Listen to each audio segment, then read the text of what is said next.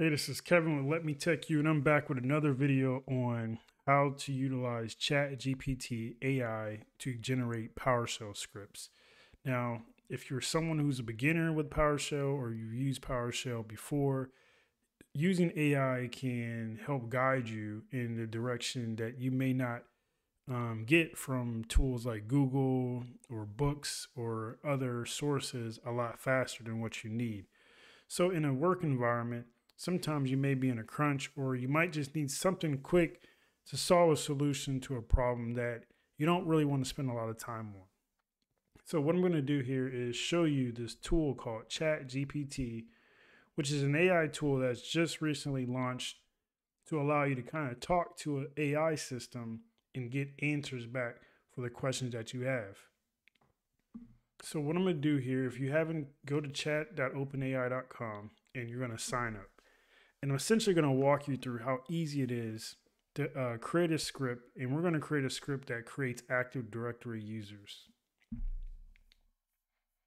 So down here at the bottom, once you sign up, this is free for research preview. So you don't get charged for any of the queries that you uh, put into here.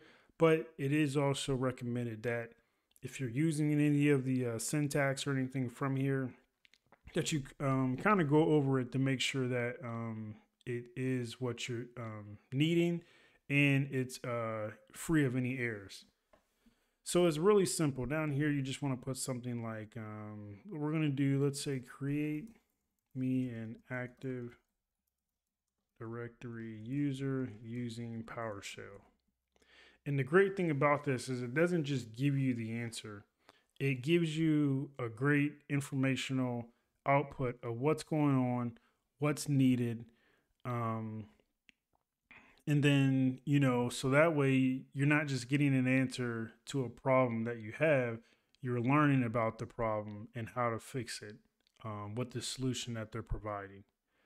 So as you can see here, it's telling you that you're going to create a new Active, Active Directory user using PowerShell. You use the new AD user commandlet.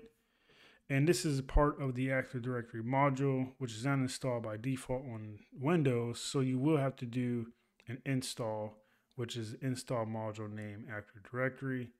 And we can actually Google that and see where this takes us. So looks like looks like this can be installed get Windows feature RSAT AD so using RSAT, um, I want to see install, let's see, Active Directory module for Windows PowerShell. And so import module Active Directory. Uh, let's see if there's an install. Let's look here. Install dash module. Let's see. I'm trying to see where we can find that command at. Basically, we want to make sure that the module that it's actually pulling from is correct. And it looks like a lot of these are actually installing from the Windows feature, the RSAT AD PowerShell module. And that's probably more common See, how do I import the? Use the import module command with the name active directory parameter. So, okay. So we're basically doing that in the install module name here. So then what we're going to do, it's going to say once the module is installed, we're going to create a new active directory user. And here's an example of how to create one with a username John Doe. So new AD user name John Doe, display name John Doe, SAM account name. So you can see this is going to create one user. But let's say you have uh, multiple users that you need to create this for. We want to say import this um, a list of users from a CSV file. So I'm going to go down here and say, how can I create a list of active directory users from a CSV file? So we're going to use the import CSV uh, commandlet, also combined with the new AD user command. And then it's going to say now you're going to make sure that you have the Active Directory module installed, which you can do by saying, hey, get module if you already ran, and you're going to be looking for Active Directory. And if the module is not installed, you want to go ahead and install it. Then you're going to drop in and make sure you want to put the users into a variable. So you're going to do import CSV path and then the path to your CSV file. So your CSV is going to also need, um, you know, make sure it has information in the headers such as the username, um, the user's name, their username and password. And then from there, you're going to use a loop to loop through. So for each user and users, we're going to do new AD user name, user.name, user.display name. Oh, where'd we go here? And looks like we got an air and body stream. So sometimes uh, I notice with this tool, this happens. And it happens when you have a long running um, uh, answer that gets outputted. So you can see that was running for a while. So let's try to shorten it. So let's say create a, so use the above script to put the users in, uh, or to import the users into a variable. So too many requests, please slow down. So it might be, um, so this is new. So we, we could be hitting some type of roadblock where it needs to catch up or um, I'm putting too many queries in and it's recognizing that. So it's, it, it's trying to, uh, they had some stability issues. So to minimize people taking advantage of the system, they probably have some roadblocks in there. So let's Let's try that again here.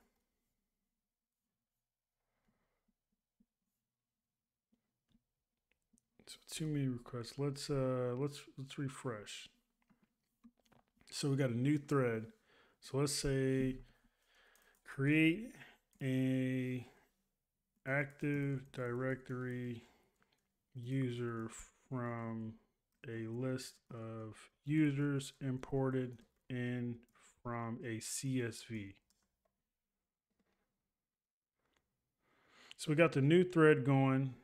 It's uh, going to go ahead and start outputting our code with the import and the variable um, already placed inside of it. So now you got your users um, variable, and then we got our for each and then you got to make sure also inside of your CSV, you have your um, headers. So first name, last name, display name, email address, um, all that stuff. That's going to need to be in the CSV file for it to create that. So once that gets done, we can say, let's um, place this in a specific OU. So using so it already knows what we're what we're doing. So based on the fact that we're still within this um, thread, it knows we're trying to create Active Directory users.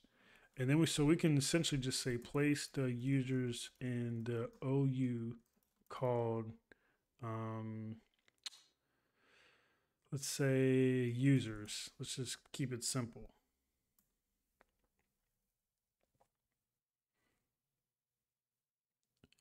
So let's see if it actually takes what we currently have and outputs it. So it looks like it's going to go through our for each again, takes everything we currently have here, and then it adds the path. And we got our password. So then now that we have the um, so if you're not sure of the organizational path, so this is basically saying if your organizational path isn't this, you want to go ahead and get that um, wherever you're at. The um, OU is you can t- typically sometimes do a right click and go to um, the properties and look at the object or attribute editor and grab it from out of there. So now we can continue to keep going if we want. Um, we can do some additional stuff like let's say, what else could we do? Um, and then let's say disable, um, let's say force all the users to change password on next logon.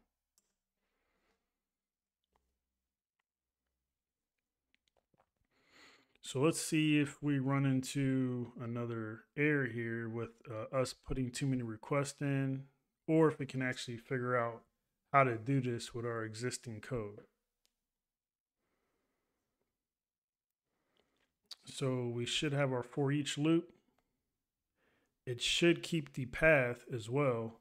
So it knows that we still want the path, which is there. And then the password, change password next login.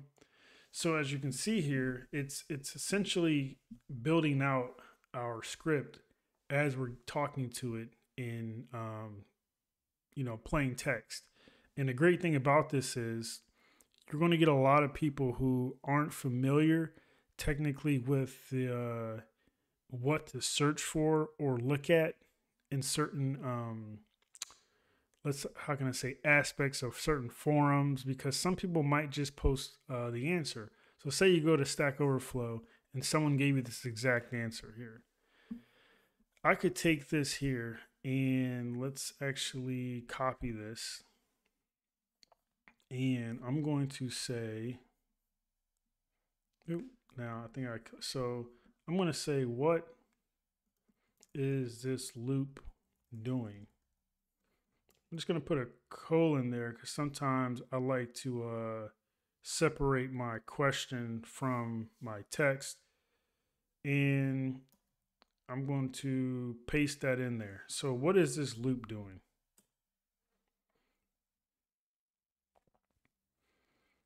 So for someone who might be looking for an answer to something and they come across something, you basically can have an assistant tool like this to say, hey, is this code, is this block of text doing anything um, that I need? What answers uh, is it giving me? So now it's basically saying, hey, this is a commandlet from Active Directory to create a new user. It is looping over each user in the users array and creating a new user in the Active Directory domain for each user. It's the user's name, username, first name, last name. The password is specified as arguments. The user account is also set to expire its password at the next logon and to be enabled. So not only is this like a tool that you can use to uh, help solve problems, but it's a tool you can use to help learn a lot faster because sometimes you may not get the answer to questions um, specifically from forums and other people that you asked a question to about, hey, how do I do this? Um, how is this achieved? How did you write this script? Or let's say, for example, you come across a piece of code that a previous developer left um, and you don't know what this script is doing. You could come in here and say, hey, what is this script doing? Um, I don't know why it's breaking. Tell me what's going on. It's a whole, you know, new gambit of um, tooling that you can now use to help not only better yourself, but the business that you work for and the people around you. So again, if you have any questions, you know, that's just a simple little way to kind of learn PowerShell and also um, get some easy PowerShell scripts going for various tasks that uh, you may not want to spend a lot of time on trying to figure out because you might have bigger fish to fry in the grand scheme of things. So drop me a comment down below if you have any questions. Uh, like I said, again, this is free at over at chat.openai.com. I love to answer any questions, collaborate on the um, on any ideas you would want to kind of go over. Again, uh, like and subscribe my video. I'll be doing more videos on other ways to utilize Chat um, GPT for various uh, um, tech um, initiatives. So again, thanks for tuning in. Like and subscribe, and hope to see you next time.